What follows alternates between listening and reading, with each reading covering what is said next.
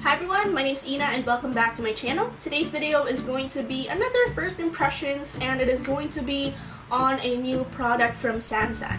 This is their lip crayon right here and it looks like this. Ganito yung packaging niya. And I like it kasi ang daming bagong products ng Sansan and after this video, well, sometime after this video, I will be filming another first impressions.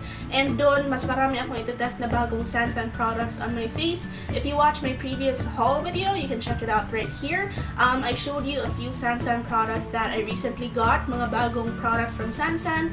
And those are the products that I will be featuring in my next first impressions. But for today, ito muna yung gawin natin kasi I'm excited. I'm more excited to try this out on my face. Gusto ko lang siya. So it's just called the Sansan Lip Crayon. It claims to be long wearing and that it has a matte finish. This has vitamin C and E and it is in the shade Dazzling Fuchsia. Sabi dito that this is made in Germany. Wow, that's a first kasi usually yung Sansan made in China, di? So ito made in Germany and expiration date daw niya is on September 2018. Tapos, this one contains 2.8 grams of the product. So, bongga na rin yun. Manufacturing date, March 2016. So, let me just go ahead and open this up because I'm really excited to try this out on my face. And it kind of looked like a zombie na parang full-on face makeup and walang lip product. So, ayan, na-open ko na siya. And by the way, I purchased this for 165 pesos. Alright, so I don't really have any lip balm on right now. I'm gonna go ahead and apply this product directly on my lips. And tignan natin how it will perform. Ooh! Kita niyo? Let me just do a swatch para makita nyo. Like, look at this. I'm gonna apply a very light pressure lang and bongga. It is super pigmented and creamy. Hindi ko in-expect na magiging super creamy niya kasi alam niyo na, ganitong packaging. I was thinking it would be a bit hard, pero it's actually very creamy. Bongga. And very pigmented.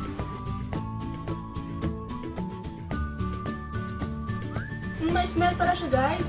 It smells, it smells like peppermint.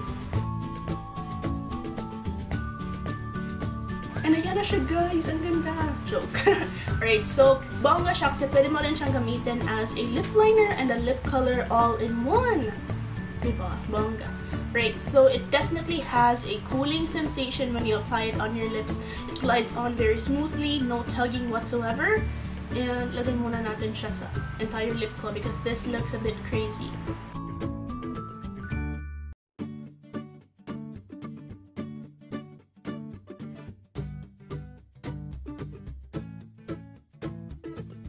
Right, there you go, you guys. Nagustuhan ko talaga siya as in. It just feels like a normal lipstick in a pencil form. So, bongga siya. It's really very creamy, no tugging whatsoever on the lips. And it glides on very smoothly. Parang paulit-ulit yung sinasabi ko. Um, siguro medyo nahirapan lang ako kasi um, I, mean, I am used to applying lip liners pero hindi ganito ka jumbo pencil na lip liner and I'm just used to applying lipsticks na nasa bullet so medyo nahirapan ako dito but yeah, okay siya. I like the color as well. Parang pinaka, mm, bomb. Parang pinaka, ano niya, binibigyan niya ako ng konting oomph. Parang super lively na ng face ko. Kahit kanina, medyo boring. Pero this just gives a nice pop of color on my face. And I'm just so impressed. Nagustuhan ko talaga itong lip product na ito, guys. I really, really, really like it as of the moment. yeah.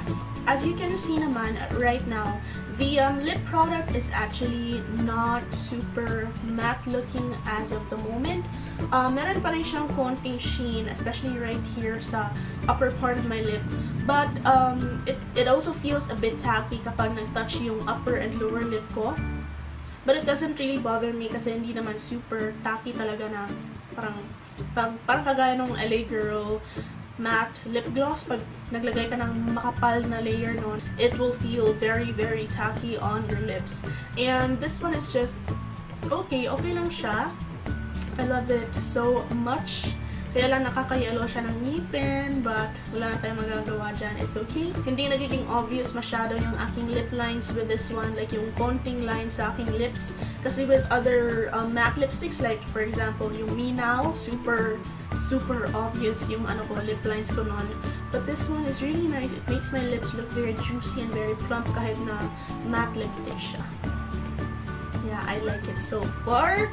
And it feels very comfortable on the lips. So I think it's been like, I wanna say 2 minutes since we applied this one. Tignan natin kung transfer proof ba siya or hindi. Nope, hindi siya transfer proof at all. Pero, kahit after kissing my hand, andito pa rin yung product sa lips ko. And hindi naman siya nag-fade. No, hindi siya nag-fade. Bongga pa rin yung color and yung vibrancy. Anyway, um, tignan muna natin kung maglalast ba siya all throughout the day. Later, I will be eating my snacks. And right now, it is 2.38 in the afternoon. So, I will check back again later today. Tignan natin kung maglalast ba itong lip color na ito all throughout the day or after eating. Hey guys, just got home. I'm back for my first update on this lipstick. It is now 8.38 in the evening, so I guess it's been 6 hours since we last applied um, the lipstick on my lips. And I already ate once. Kumain lang ako ng medyo, I mixed snacks and dinner together, so sninner, sninner. I had my sninner kanina mga 5 p.m. Oh my gosh, pasensya na. I just looked at myself in the mirror and I saw that I look really greasy right now. Pardon my really greasy face. Um, yeah. Pagpasensyahan nyo na. But let's just focus on the lips for now. Bongga. Yung nawalan lang talaga ng color is yung dito, yung pinaka-inner part ng ating lips lang talaga yung nawalan ng color. Pero hindi talaga siya super noticeable, no? I don't know if you can see up close. Ayan, I don't really know if you can see up close. Pero yung pinaka-inner part ng ating lip lang talaga yung nawala ng color. So in my opinion, this actually looks very, very good considering na kumain ako ng sandwich na medyo oily. Actually, dalawang sandwich yung kinain ko. And then the bacon and the, like, yung sandwich spread was like touching my lips. And considering medyo oily yung, di ba, spread. So, mayonnaise. So, medyo oily talaga siya. Considering that touched my lip and I was eating like a barbarian kasi gutom na gutom na ako. Um, medyo nag-transfer din yung lipstick sa kinain ko na sandwich and sa ano din, sa mug ng coffee ko and sa aking tubig. So, yeah, okay lang naman yon kahit na nag-transfer siya kasi andito pa rin yung pigment ng lipstick. Parang wala lang nangyari. And siguro gagawin ko na lang yung spreading technique para mas magmukha siyang bongga. Parang no need to reapply naman itong lipstick na ito. Pasensyahan nyo na, oh my gosh. I'm sweating like a pig right now. Like dito sa upper and lower lip. Pasensya na kayo ha. Ayan, I just spread the lipstick around and it looks brand new. It definitely looks 100% matte na ngayon. And hindi na siya as tacky as how it felt earlier. Medyo konti na lang yung tackiness niya hindi mo na nga mafe-feel na tacky siya, pero meron konti-konting ganyung feeling. And my lips still don't look dry or chapped right now, pero hindi na siya ganun ka parang nourished tignan as how we initially applied it. Um, it still feels very comfortable on the lips. Para nakalimutan ko na nga na naka-lipstick pala ako. Now, let's test kung medyo kiss-proof na siya right now. Hindi pa rin, meron pa rin siyang konting transfer, but the lipstick is still there that is my minute check-in on this lip product right here. Still loving it as of the moment. And I will get back to you guys later for my final update. Hello everyone! I'm back for my final update. And it's actually pretty late. It's now 1.46 a.m.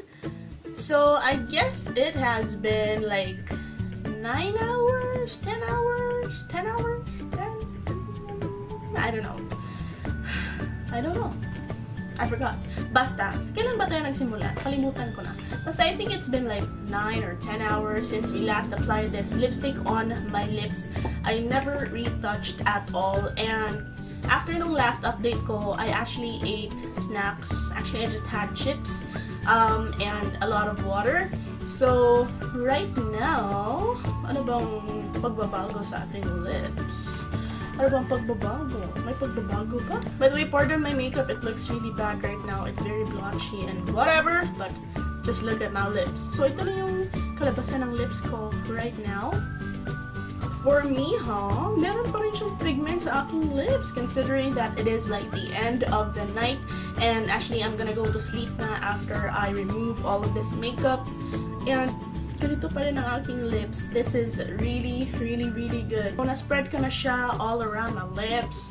And it still looks pretty good, you guys. Acceptable pa rin to para sa akin. Pero syempre, hindi na siya ganun ka-vibrant as how we applied it earlier. Meron ako nakitang konting mga dry patches or mga konting dry skin. Pero hindi naman siya actually totally obvious pag kausap mo ko. Pero pag malipitan, ganyan kalapit, makikita mo talaga. Pero wala naman siguro taong ganyan kalapit na kausap ka, di ba? So, for me, I think this is a really, really, really good product. 5 out of 5. Yung con lang na masasabi ko sa product na ito is that you have to sharpen it. Hindi naman ito retractable, di ba? No, it's not retractable. So, you need to bring a sharpener with you kasi, you know, baka mapudpud na siya tapos hindi ka makapag-retouch. Now, tignan natin kung ano yung magiging kalabasan niya kung pinatong mo lang siya sa lipstick mo like after wearing it for long period of hours kung ano yung magiging kalabasan after retouching. Yan, there you go you guys. Na-retouch ko na siya. And it glided on very, very smoothly. Para lang yung first application natin. As in, very, very smooth talaga. I'm really impressed with this product. Walang, walang pagbabago sa kanya kahit na nire-apply ko na siya over old lipstick, diba? Which has been there for a few hours or long period of hours. Okay na okay pa rin siya. And 5 out of 5 talaga itong lipstick na ito for me. I really, really, really love it. Like, the feeling of it is very comfortable, yung color is very vibrant, pigmentation is bongga, very creamy, glides on the lips very smoothly, very pigmented. As in, wala akong masasabing pangit sa kanya. Hindi siya drying, matte siya, and Basta, lahat ng maganda nasa kanya. Kulang na lang talaga is maging retractable siya para perfect na siya. Pero for me, perfect pa rin siya kahit na hindi siya retractable. And I think you guys should give it a try as well. Kasi it's very long lasting and bongga lang siya for me. I really like it. I'm planning to get more shades soon kung meron pa akong maabutan. Kasi nung binili ko ito, and binilhan ko rin si Tressie, um, konti na lang yung shades na available. So, that's a bummer. But, Go ahead, run to your nearest HBC counter and get your hands on your own lip crayon. Char, parang sponsored lang. But no, how I wish. Okay, anyway, um, that is it for this review, you guys. I hope you guys enjoyed watching. If you found this video helpful, please give me a thumbs up. Also, don't forget to subscribe. I upload here every other day, and I would love for you all to be part of my family. So, um, also, comment down below kung na-try nyo na itong product na ito and tell me your thoughts about it. Also, what are your favorite shades? Because I'm planning to get more shades. Comment down below. I will read all of your comments and I will try my best to respond to all the comments. As always naman, I always do that. So yeah, again, thank you all so much for watching. I love you all. Hopefully, I will see you in the next one. Bye-bye. More local makeup product reviews coming soon, so don't forget to subscribe. Bye! Mwah run to your nearest mirror. right? So there you... Ano ko gulohan ang nangyayari? Bakit ang engay-engay? May airplane pa.